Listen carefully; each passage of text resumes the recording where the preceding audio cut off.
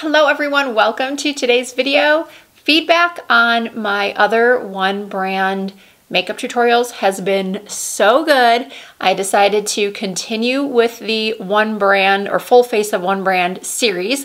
And today I am using a full face of NARS. NARS has been one of my favorite makeup brands for years. I would say next to Charlotte Tilbury, NARS would probably be the first runner up when it comes to brands that I have the most of in my collection. That said, I did purchase a few things specifically for this video, which by the way is in partnership with Nordstrom. They are the one retailer where I can seem to find the lesser known NARS products or a more comprehensive shade selection within each product line, like lip glosses or lipsticks or blushes. What I'm trying to say is that Nordstrom usually has the full shade range in a specific category. And that's just one of the many reasons why I love shopping at Nordstrom and partnering with Nordstrom on these videos.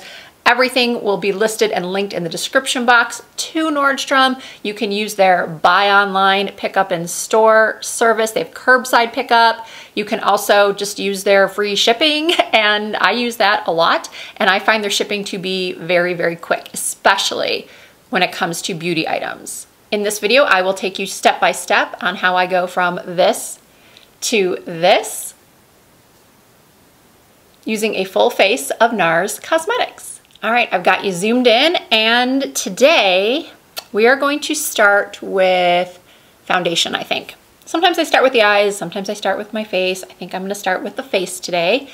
I'm not going to use any foundation primer today. I will be using eyeshadow primer, but I am finally trying out the NARS Natural Radiant Longwear Foundation. I have spoken about all of the NARS matte foundations in the past because I have very oily skin. But lately, I have been trying out more radiant foundations. This NARS Natural Radiant Longwear is one of the only NARS foundations that I have yet to try. So we're doing it today. We're testing it today. I know when I mentioned that I was going to be doing this video in another video, I was asked if I could try out and give an opinion on the newly reformulated Pure Radiant Tinted Moisturizer, which I could, but number one, I really wanted to try this foundation, and number two, for this look, I need, or I wanted a little bit more coverage. This is a great everyday sheer to buildable to medium coverage product. It is really, really nice and I highly recommend it if you prefer a tinted moisturizer to a foundation and you want something that has an SPF 30. I'm shaking it up a little first. I always shake my foundations before I use them. I love the packaging on this and I love a pump. I think all foundations, as long as they're liquid foundations, should come with a pump. So fingers crossed the shade works for me. I'm gonna do two tiny pumps they're very tiny pumps. Not a lot comes out with each pump. And now let's see. I think this actually might be a really good color match. Wow, this is nice coverage. By the way, not everything I'm going to use in this video is going to be a first impression. I've used most of these products many, many times, just not this. Does anyone else have skin that one day is looking just spectacular. And then the next day you wake up and your skin just looks terrible. Wow, this looks so good. If I end up loving this, I'm going to be kicking myself for not trying it sooner. This has really amazing coverage. Well, I mean, it is labeled medium to full coverage, I think. But look at that. And I'm just gonna keep patting for a couple minutes, but I'm not gonna make you watch all that. I will edit out most of this patting or blending, should I say. All right, so now that my foundation is on, I'm gonna move on to concealer. And I've been using the Radiant Creamy Concealer for years. It's one of my favorites.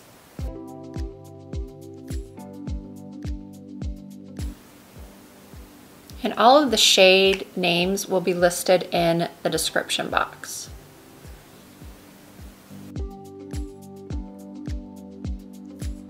Now to add a little bit of color and life back into my skin, I'm using the new bronzing cream in the shade Laguna. It's called Sunkissed Bronzing Cream. Oops. Used a little bit too much. This is only my second time using this product. I don't know why I just did what I did. Usually I do start off with a small amount and then build up, but I don't know what that was all about. I went right in there, didn't I? I absolutely love this product. I mean, look at what a mess that first application was and I was able to blend it out so easily so it looks normal. I'll run a bit through here so it looks like the sun is hitting me naturally or the sun hit me naturally. All right, so for my lids, I'm actually using the Pro Prime eyeshadow base in medium dark. In the past, I've used just the clear and then I've used light and I've also used medium, but I wanted to try the medium dark because I've seen a lot of makeup artists use this as an eyeshadow, just a one and done cream eyeshadow because it's sort of like a dark reddish brown. But I am going to use it as a base for some other eyeshadows I'm using. But I'm interested to see what this looks like just on its own. The Pro Prime eyeshadow base in general has been one of my favorites for a really long time. Wow, yeah. Look at that. That really does make a nice one and done eyeshadow. And by the way, if I ever link something and you go to the website and it says that it's sold out, definitely see if it's available at your local Nordstrom store. I know not everyone has a local Nordstrom store, but if you do, I would call and ask and give the sales associate your name and have them call you when they get it in stock. So for some reason you can't get your hands on the medium dark, the medium works great, and as I said, just the regular Pro Prime is excellent, as well as the light if you have lighter skin. So brows. I do have a NARS brow pencil, but I purchased it when I was a brunette. Some of you might not know this, but about five years ago, I went very, very dark with my hair. I was every shade from jet black to light brown, everything in between.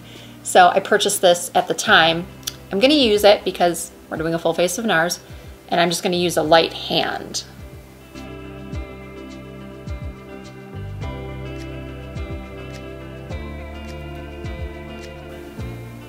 Okay, brows are done. If you ever find that you have purchased a brow pencil that is too dark, just really ease up on the pressure that you apply when using the pencil and you can get a lighter look from it. And then of course, if you use a clear brow gel or something like that on top, can lighten it up that way as well. Boy, my hair is getting crazier and crazier by the second. All right, let's do some eyes. I have two eyeshadow palettes here that I want to use. One is the NARS Claudette eyeshadow palette. At least I think that's what it's called. No, it's actually called the Saint Germain de Pré eyeshadow palette. Then I also have the new Summer Solstice palette. So I think I may use a combo of both of these. Beginning with this shade right here. I'm going to apply this to my crease. Well, basically all over where I applied the eyeshadow primer. And I'm bringing it out on an angle. Oops, I always forget to do this. I have to zoom you in.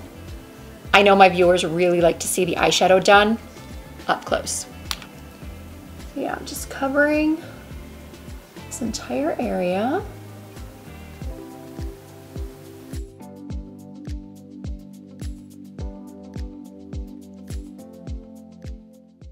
I'm going to move on to this palette and using a flat brush, I am going to use this ivory shimmer shade in the middle and I'm that on the inner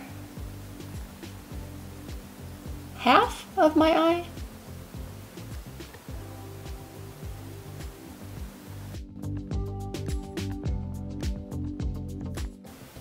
And I want it to be a little bit more bold, so I'm gonna take my finger and go into this shade right here and press that on top.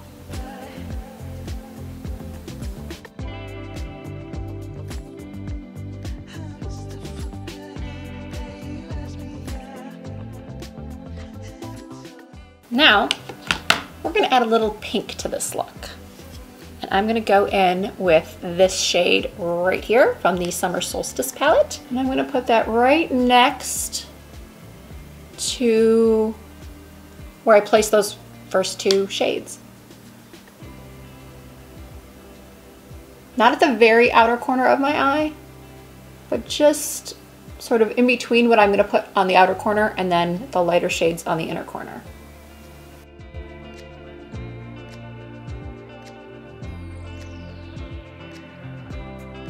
And then I'm gonna go back with the first brush I used and I'm gonna take a little bit of this sort of reddish brown shade. Oops, I don't think I showed it. This right here. And I'm gonna put my chin up and look down and blend out the crease once again.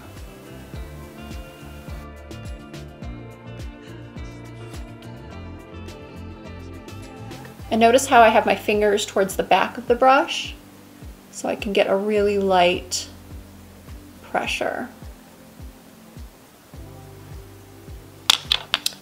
And now I'm gonna go back to the Saint Germain palette and I can't decide what I wanna use. I think I'm gonna use, should I use this one or this one? I think I'm gonna use the one in the middle. And the brush I'm using, by the way, is just one that came in an Anastasia Beverly Hills eyeshadow palette. And I'm extending it out towards my temples.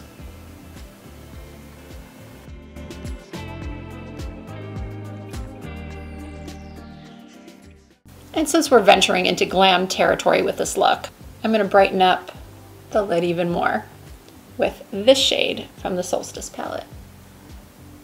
I just want it to really stand out.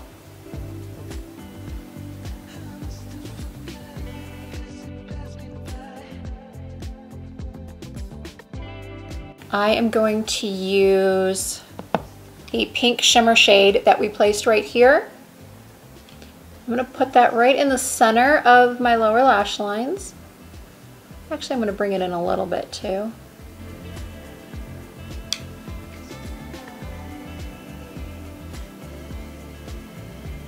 So scratch that. I'm bringing it from here to halfway under my eye. And then I'm going back to this palette and using the shade that I used on the outer corners on the outer third of my lower lash lines as well and bringing it up to give it a winged effect.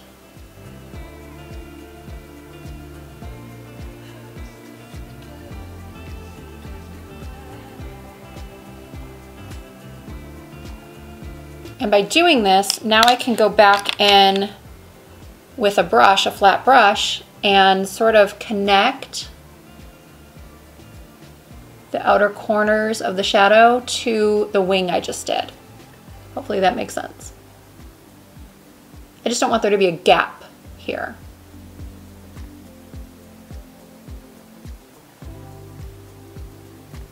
As you can kind of see, there's a gap between where the shadow is and where that line I just created is. So I go back in and add color. And if it looks kind of harsh, you just take your finger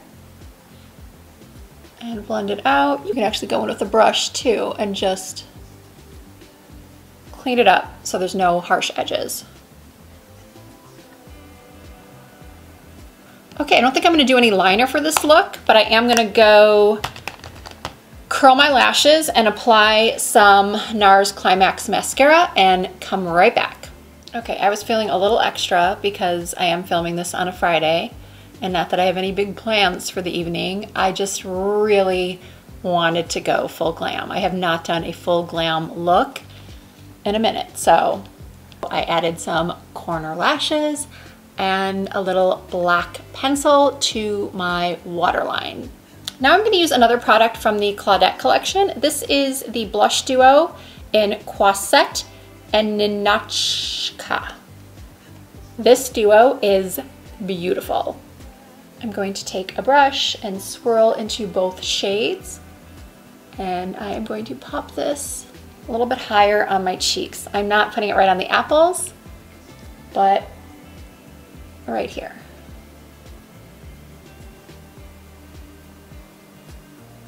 And for a little extra glow, I'm using the NARS highlighter in Fort de France.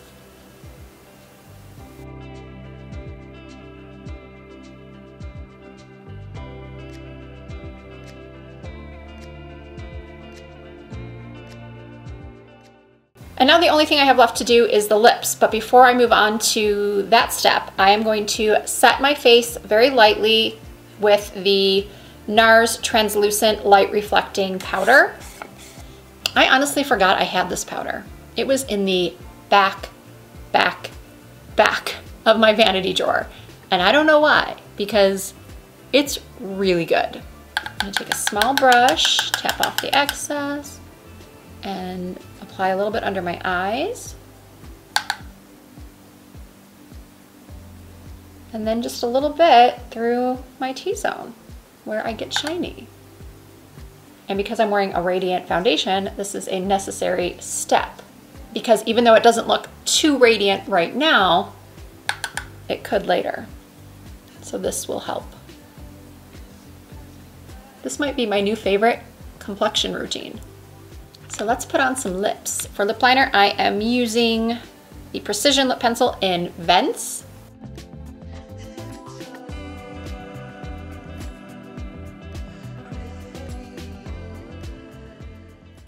I know it's not Venice, it's Vence. There's no I in here, it's just V-E-N-C-E. -E.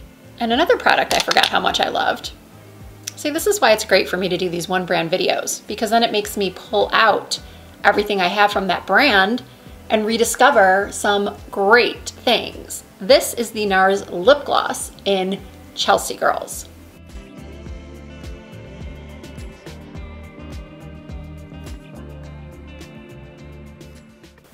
Now is that a beautiful lip combo or not? So here is the completed look. Of course I have to try it a couple more times, but my first impression of the Radiant Longwear is very good. And I do feel like the shade I chose, Fiji 5, is spot on. It definitely appeared to be a little light at first, but no, it matches beautifully. And especially when used with the new bronzing cream, I think it's a winning combo. And then, as I mentioned earlier, the loose powder is pretty fab as well. And the eyeshadows, the blush duo, the lip combo, the highlighter, I really love it all. I think this look came out really, really good. And even the darker brow pencil managed to be okay. I like it. I like it a lot. And I hope you do too. And if you did enjoy this tutorial, please give the video a thumbs up. If you're not already subscribed, I would really appreciate it if you would hit that subscribe button. I do try to upload new content at least twice per week. You can also let me know in the comments what other one brand tutorials you're interested in seeing. I have created an entire one brand tutorial playlist, so you can easily reference back to whatever brand you're most interested in. And yeah, I think that's it. Thank you all so much for watching. I look forward to seeing you in my next video.